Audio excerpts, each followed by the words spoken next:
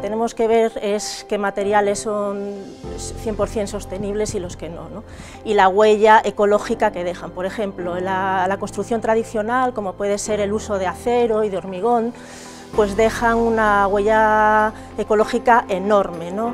debido ya a la elaboración de estos productos y también a, los residuos que generan.